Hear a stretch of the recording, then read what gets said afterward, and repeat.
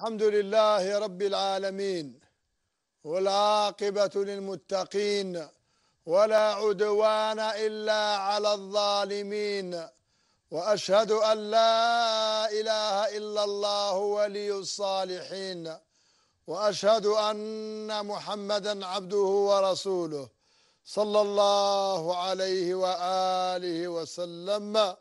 أما بعد السلام عليكم ورحمة الله وبركاته. أهلا ومرحبا بكل السادة المتصلين والمشاهدين. وأهلا ومرحبا بكل السيدات المتصلات والمشاهدات. وأرقامنا موجودة أسفل الشاشة. ومعنا الأخ زبير من الجزائر العاصمة. مرحبا. السلام عليكم شيخ. وعليكم السلام ورحمة الله وبركاته. وأهلا ومرحبا بأخي الزبير. مرحبا. إن شاء الله إن شاء الله تنورنا بالنور تاعك شيخ. جزاك الله آمين. خير آمين. وإياكم. الله يعطيك الخير والعافية. آمين. الشيخ آه، عندي تفسير منام برك شافته الجوزة. نعم خير إن شاء الله خير إن شاء الله. خير إن شاء الله. شفت باللي آه، شرينا فيلا ودخلنا لا فيلا الفيلا هذه. ولقيناها واسعة بزاف. ما شاء الله. والسيد هو اللي عيط لنا قلنا روحوا للفيلا هذه. وأنا الحق مش ما عنديش النية باش عندي باش الفيلا هذه. وعندك راك ساكن مليح عندك لي ساعة. الحمد لله. ما عندكش مشكل سكن الحمد لله نحمد ونشكره كاع الحمد لله. إذا أخي الزبير نعم شيخ. شحال في عمرك الله يبارك؟ 50 سنة قد قد الله يبارك. عندك ذراري الله يبارك فيك. عندي طفلين وبنت.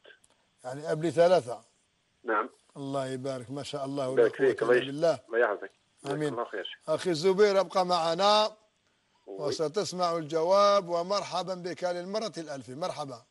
جزاك الله خير شيخ. بارك الله فيك. آمين. وإياكم وإياكم. الله. يعطيك جزاك الله خير آمين. هذه والله يحفظك إن شاء الله. الله يبارك فيك. الله يعطيك الخير. خيرا تلقاه.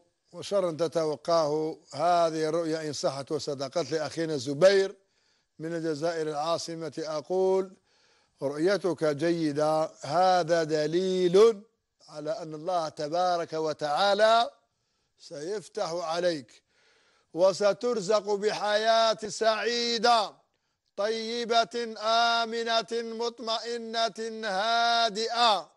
فانتظر بشرى. وانتظر حياة كلها سعادة وكلها أمان وطمأنينة وعافية وهناء. أبشر ربي راح يوسع عليك إن شاء الله في الحياة. وستسعد مع زوجتك الكريمة ومع أبنائك الثلاثة.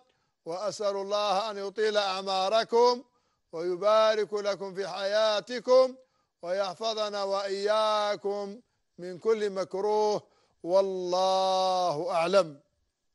كذلك معنا الأخت مروة من شلف. تقول كنت أمشي في المنام أنا وأمي في المنام وإذا برجل يجري وراءنا ولم نكن في بيتنا ودخلنا مسرعين إلى أحد المنازل وأغلقنا الباب وكان الباب مكسور وطرق الباب وأخذ شيء شيء ما وذهب.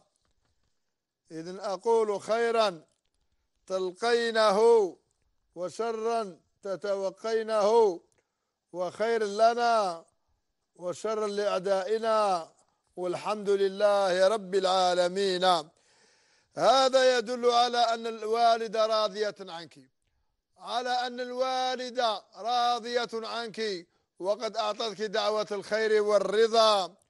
وهذا دليل على أن الله موفقكم وناصركم ومؤيدكم وأبواب الشر مغلوقة عليكم لا تصلكم بإذن الله عز وجل. ومن يريد إيذاءكما أو مسكما بسوء وأذى لن يفلح ولن ينجح بإذن الله عز وجل. وكألباب المكسور هذاك يعني راه كاين شوية ضعف وهذا يدل على أنه ينبغي أن تصلحوا بعض الشيء. معناها من محاسبة النفس وإن كاين التفريط وإن كاين موقع موضع الخلل حاولوا إصلاحه وتقوية الإيمان حتى لا يحضر الشيطان ولن يجد ملجأ أو مدخلا يدخل إليه منكم إليكم. وربنا يحفظنا ويحفظكم من كل مكروه ورؤية تشكركم وتمدحكم بإذن الله عز وجل. واسأل الله الثبات والعافية وكثرة الاستغفار والدعاء والله أعلم. أهلا بالسي مبارك مرحبا. مرحبا بك الشيخ. أهلا يا سي مبارك كيف حالكم؟ أهلا بك سيدي لباس. إذا تحية لك ولكل سكان جلفة آمين إن شاء الله. ومرحبا بأخي الزب... بأخي مبارك مرحبا. آه نعم. عندك رؤية؟ الرؤيا يا شيخ هي رأيت شيخ زاوية أعرفه زاوية كنت أدرس فيها. الله يبارك. أي زاوية؟ رأيت الزاويه الطاهريه بمسعد. ما شاء الله ما شاء الله. آه، رأيته أمسكني من يدي وأدار أصبعه الإبهام أداره في يدي. ما شاء الله. لا أدري ما يعني تعني هذه الرؤيا. ما شاء أنت من حفظة القرآن الكريم. نعم إن شاء الله. كم مضى من عمرك يا شيخ؟ ستين سنة. الله إذا أنت الآن معلم أستاذ. أنا متقاعد. يعني وكنت أستاذا. أكون متقاعد بالتربية. الله يبارك الله يبارك. ما شاء الله. بارك فيك إن. كثر الله من أمثالكم يا حفظة القرآن. آمين إن كثر شاء الله. الله من أمثالكم. وابقى معنا يا سيدي الأستاذ أبقى معنا وستسمع الجواب ومرحبا بك سي مبارك للمرة الألف. آمين إن شاء الله. آمين. الله يبارك فيك؟ أبقى معنا الدور؟ معنا. أبقى معنا.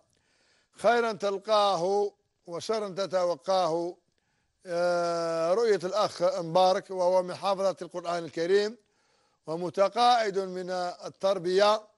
أسأل الله أن تكون لك جبال من الحسنات يوم القيامة. إذا أنت قد ربيت جي- أجيالا وهذه الأجيال كلها تكون ظلك يوم القيامة وتكون صدقة جارية لك يوم القيامة. وهذا الشيخ الذي وضع أبهمه أو إبهامه في يدك حب يقول باللي راني راضي عليك وأنا أعطيتك دعوة الخير وراك أديت الأمانة كما ينبغي سي مبارك حب يقول هذا الشيخ راه شكرك وراه قال لك راك أديت الأمانة التي وصيناك بها والتي من أجلها تلمث على أيدينا وعلمناك ودربناك وتحصلت على مواد شرعية ولغوية وغيرها وها أنت قد أديت الأمانة كاملة فهو يشكرك ويمدحك ويجازيك خيرا. فشيخك هذا راض عنك يا سنبارك. وأنت أرضى عن طلبتك وأرضى عن من أخذوا عنك هذا العلم. وحاول قدر المستطاع أن يكون ضمن كتاب ضمن منهجية تكون على شكل كتاب للأجيال القادمة والناشئة الحالية. والله تبارك وتعالى يجازيك عنا أحسن الجزاء والله أعلم. كذلك معنا الأخت كنزة آه، من أم البواقي متزوجة تقول رأيت في الحلم أسناني سقط أسناني ينفر سقطت ويتكرر كثيرا علي هذا الحلم. كثيرا يتكرر علي هذا الحلم. إذا أقول خيرا تلقى خيرا تلقينه وشرا تتوقينه وخيرا لنا وشرا لأعدائنا والحمد لله رب العالمين. هذه الرؤيا كثيرا ما ترد إلي سواء هنا في هذه الحصة أو في المسجد أو على رقم هاتفي الخاص أو وأنا أمشي في الشارع. وأنا في الحافلة وأنا في, في المترو في التراموي الناس يسألوني عن قضية سقوط الأسنان كثيرا وأراهم يتخوفون وكأن وكأنه شيء ما سيحدث لهم بعد الرؤيا ولهذا أقول يا أحبابي الكرام بدون استثناء رؤية الأسنان في المنام لا تخيفكم من اليوم لا تخيفكم. فما تقرؤونه أنصحكم بعدم قراءته. أنصحكم لا تشتروا كتاب تفسير ابن سيرين فوالله لهو كتاب مليء بالخرافات ومليء بالأساطير ومليء بتعبيرات محمد بن سيرين بريء منها إلى يوم القيامة. وهذا الكتاب الذي تقرؤونه والذي جاء على شكل ثلاثة أو أربعة عناوين مختلفة كلها لابن سيرين والله ليس من تأليفه على القول الراجح وقد أقسمت وأنا متأكد مما أقول. هذا الكتاب ليس من تأليف محمد بن سيرين. هذا الكتاب منسوب له. فهمتوا؟ هذا الكتاب راه منسوب ليه؟ ما وش نتاعو وهذا الكتاب راه مطبوع في القرن الرابع الهجري. ومحمد بن سيرين مات في القرن الع... الأول سنة 110 هجرية.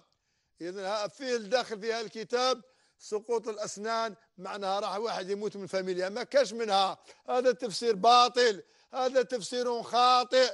أنا بريء منه وابن سيرين بريء منه وكل علماء التعبيرين بريء من هذه الأكاذيب. إذن سقوط الأسنان في المنام يدل على طول عمرك يا أختي كنزة.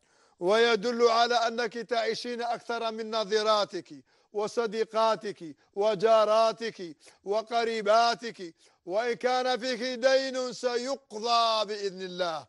أما هذا التفسير يقول لك شاف سنة طاحت له أو درسة راح يموت له واحد ما كاش منها. هذا التفسير ماذا بيا؟ نحوه كاع من راسكم. باطل. اللي تشوف سنانها طاحت تفرح معناه عمرها طويل بإذن الله عز وجل. هذا الكلام ينبغي أن يؤخذ بعين الاعتبار والكتاب منسوب لابن سيرين والله أعلم. أم فتيحة من مدينة غليزان مرحبا. مرحبا السلام عليكم. أهلا وعليكم السلام ورحمة الله وبركاته ومرحبا بأختي مرحبا. آه، الله يسلمك الله يبارك فيك. عندك رؤية؟ واه مرحبا آه، مرحبا. عندكم؟ إذا تفضلي تفضلي أنا أسمعك على المباشر. إيه بصح ماهيش مكتوبة عندكم الرؤية؟